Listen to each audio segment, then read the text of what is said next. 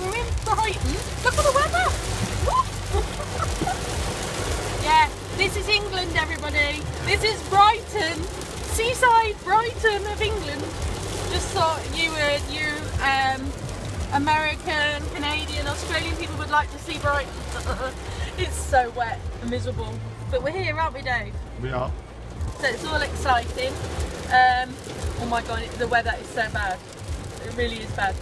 Um, so we're just going to find the nearest car park and we'll probably go and get a cup of coffee before we go in for the interview and we'll check back in a bit later. See you soon.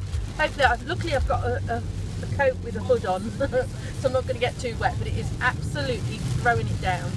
Um, and in the Midlands where we came from it was lovely and sunny this morning and really mild.